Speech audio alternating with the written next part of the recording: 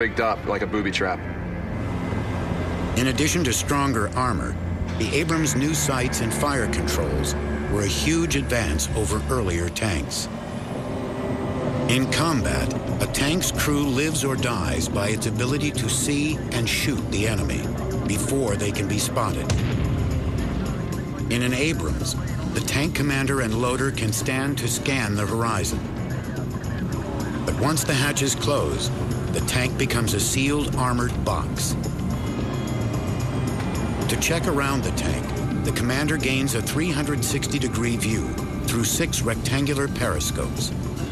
He can also look through the gunner's sights, which have both optical and thermal imaging. The thermal option detects radiant heat through fog, dust, and darkness. I actually prefer shooting at nighttime. Daylight, you're looking out there, you see green bushes, you see things moving. We're in thermals, you see a hot spot, that's target. With a target in his sights, the gunner activates the fire control computer that factors in the tank's speed, wind velocity, and bend of the gun. The killing combination of marksmanship and technology makes the Abrams notoriously accurate. And the tank's stabilized gun platform allows the gunner to fire on the move. The M1A1 is a stabilized platform. We can actually shoot, move, and communicate on the move. Max speed's 42 mile an hour. We can actually shoot at 42 mile an hour.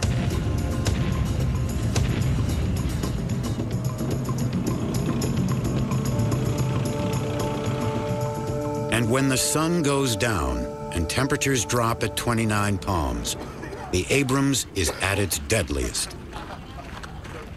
Tank crews undergo one of the hardest tests, facing moving targets and both offensive and defensive scenarios.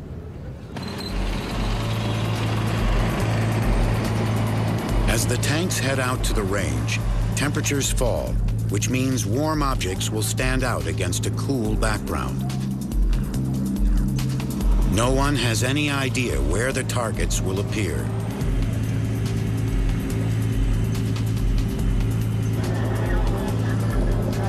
The exercise is controlled from a tower where Bravo Company Commander Captain David Wileman monitors the crew's night fire performance, watching them with high-powered infrared equipment. What you're seeing here is a forward-looking infrared FLIR. It uh, gives us the ability to look downrange uh, upwards to, this is a 50 power camera. You can probably see all the way down the range that the target's presented itself a good seven to eight kilometers. Wileman communicates with other officers about when and where a target will pop up. With the aid of GPS coordinates and the infrared camera's extreme magnification, he keeps track of each crew's accuracy. Wileman has a tanker's eye view of the firing range. The image here is similar to what the tanker would be seeing if he looked through his sights right now. Thermal works on a variation of heat between the object that you're looking at and its surrounding area. Uh, either it's hotter or it's colder. The device picks up the, uh, the difference in heat and displays an image that's readable to the human eye, essentially, when it's dark. And it gives us the ability to fire at night. Generally, we would rather operate at night than rather than in the day simply because our technology outpaces most of our adversaries and we can just operate better at night. Finding targets may be easier at night, but there are still plenty of challenges involved in operating in the dark. It becomes a little bit different. You can no longer see out of your periscopes, you can no longer see out of your 50 caliber sight. So you're solely reliant on either searching through a set of night vision goggles where you're only going to be able to see about 20 meters in front of your face, which does a tank very little good in open terrain like this. But it makes the crew coordinate more because now the tank commander's head's down, the gunner's head is in the hole, the thermals are, are up and running.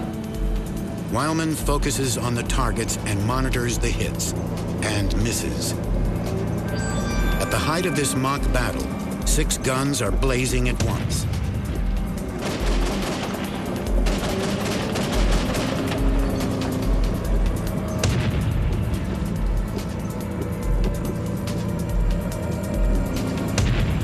After one hour, they hit 20 targets.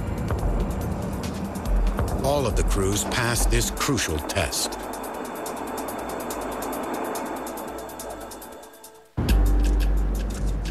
Battle tested, the Abrams has gone head to head with a wide variety of tanks, swapping shot for shot and always coming out on top.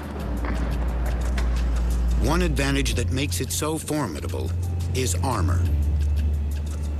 Exact details are classified, but it is known that the armor consists of layers of highly advanced materials. A steel shell forms the outer layer, with large slabs of ceramic underneath. The Abrams also has a layer or rods of depleted uranium, adding even greater strength than steel alone. The last layer is Kevlar, reducing the chance of spalling, which happens when splinters and pieces break away from blocks of metal or ceramic. The Abrams was designed so that its crew could survive even a deadly strike.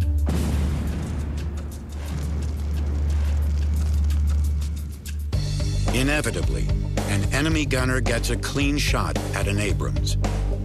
One feature of the Abrams is that gun rounds are stored in a blast-proof chamber in the back of the turret. Pressure on the top of the chamber blows the doors outward, and the force of the blast is directed away from the crew.